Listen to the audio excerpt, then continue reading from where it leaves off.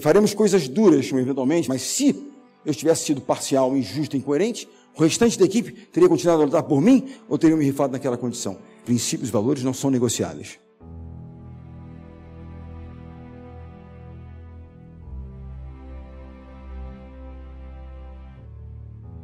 Os jogadores dizem que eu sou obsessivo no tema preparação. Mas a preparação é a base de tudo. Nada substitui a preparação. Capacitação, desenvolvimento da sua capacidade de realizar. Tem que ter clara noção de que para tudo que eles queiram fazer, existe um pilar sem o qual isso não vai acontecer, por mais dom que eles tenham, que é a capacidade de se preparar para preparação. Lembre-se que cada dia que você deixar de se preparar, se estudar, se dedicar àquilo que você, né, a atividade que você realiza, é um dia a menos que você tem para se aproximar da realização do seu sonho. Para tudo que você quiser realizar na sua vida, você tem que colocar esforço naquilo. Você tem que se dedicar e tal, para que você possa ter êxito naquilo que você quer fazer. Poxa, eu quero ter êxito na, na matéria X, eu quero conseguir isso. Ok, para isso você precisa colocar esforço. E repete, repete, repete. Disciplina. Não vamos é, confundir disciplina com uma rigidez de, de regras, não é nada disso. Disciplina é simplesmente, a melhor, melhor frase que existe, disciplina é a ponte que liga os seus sonhos às suas realizações. Eu tenho um sonho.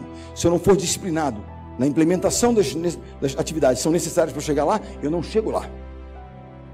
Disciplina é a ponte. Planejamento é o projeto. Eu tenho que planejar as ações. E a disciplina é a construção da ponte. Disciplina é essa ponte. Uma das coisas mais interessantes, ah, aqui você cobra muito, cobrança, é exigente, cobrança. O que, que significa cobrar? Você vai cobrar de alguém um determinado nível de desempenho em qualquer área, de alguém que não tem capacidade para isso? Por exemplo, a minha filha, no primeiro ano, ela estava em outra escola, te leva, e ela chegou em casa, primeiro ano que ficou mais sério, estudo mais formal, com notas e tal, terceiro, quarta série, enfim, não lembro. E ela chega lá com as notas, o boletim dela, a pior nota ela tinha sido nove. Eu falei, Júlia, parabéns, nove. Espetáculo. A partir de agora, a linha de corte é 9. Oh, rapaz, não é possível, a vida não é justa e tal. E começou, tal, porque eles acham sempre que a vida não é muito justa, né? Mas aqui, não, filha, não foi eu que dei o parâmetro, foi você. Se eu permitir a você que você se acomode e não desenvolva o seu potencial, em algum momento no futuro você vai cobrar de mim. Mas por que você não cobrou de mim? Se ela demonstrou capacidade, se ela tivesse demonstrado como demonstrou quando ela veio para a Eleva, que tinham mais demandas diferentes, não, vamos botar uma ajuda para ela, ajudá-la aqui mas não exigir, não desenvolver essa capacidade do jovem de né, reagir a isso e de suportar algum tipo de pressão, é não prepará-lo para a vida. Então, dar a pressão, reconhecer, mas dar a pressão. Eu vou cobrar, mas fazer.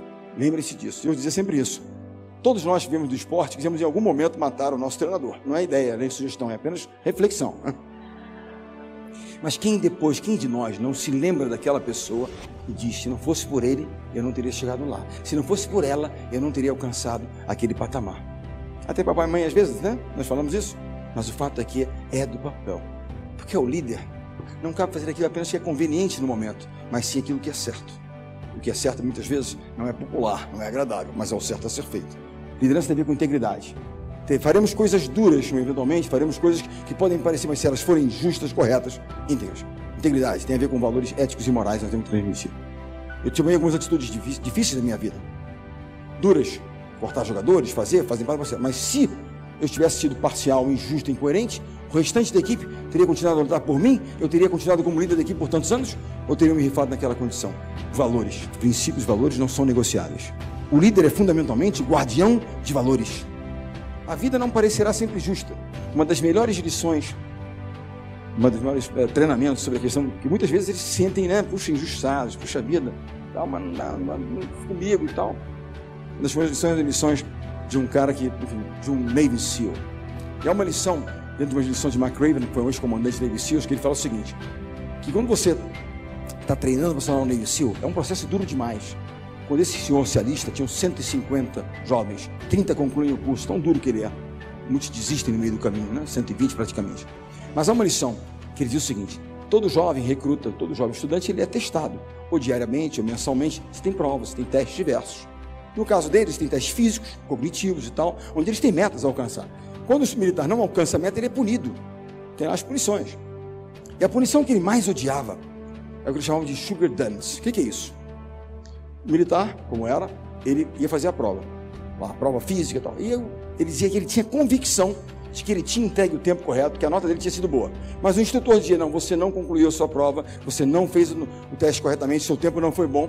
Ele falou: não é possível, eu tenho certeza que eu fiz. Quando o instrutor dizia que é o superior dizia: você não fez, acabou. Não fez. Não passou, não fez a nota, não bateu a meta. Punição. punição chamava Sugar Donuts. O que, que, era isso? O centro de treinamento deles fica no litoral, que eles nadam, fazem provas, não são. Eles mergulhavam fardados no mar e voltavam rolando na areia. Quando chega na calçada, ele se levanta, não se limpa, não se lava, permanece assim durante todo o dia. Aquela areia vai grudando no corpo, o sal do mar secando, e ele vira um sugar donuts, aquele bolinho com açúcar em cima. Aqui nós diríamos que ele virou um croquete, um empanado, mas não um sugar donuts. Mas lá é um sugar donuts. E ele dizia que era a pior punição. Por quê? Não é pelo desconforto físico do açúcar e do sal.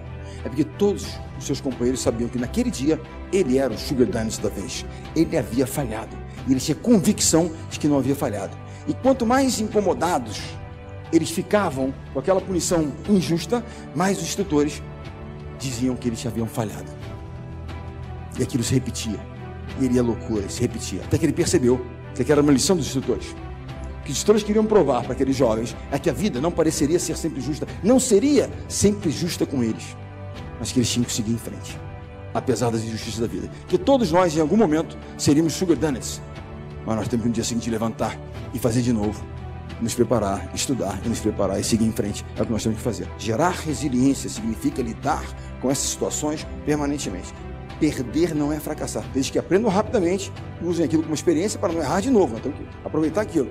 Porque nós rotulamos muito o erro como fracasso. Errar não é fracassar.